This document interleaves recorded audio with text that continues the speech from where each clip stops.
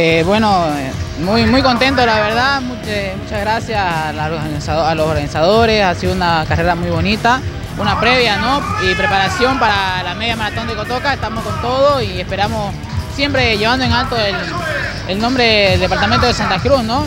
mostrando que sí tenemos, que sí hay atletas y que pueden hacerle frente a los, a los atletas del exterior. ¿Qué significa para vos este primer punto?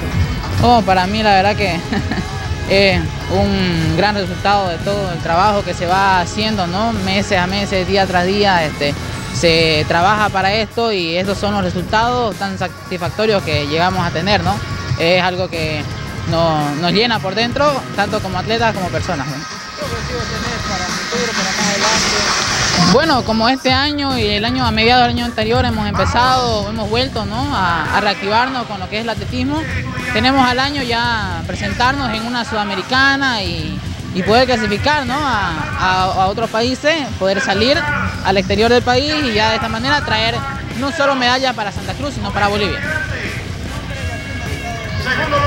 No, mi nombre es Juan Sebastián Azutorre, dedicado a a todas las personas que me apoyan, en especial mi familia y todos los y mi entrenador del Club Ray Walking.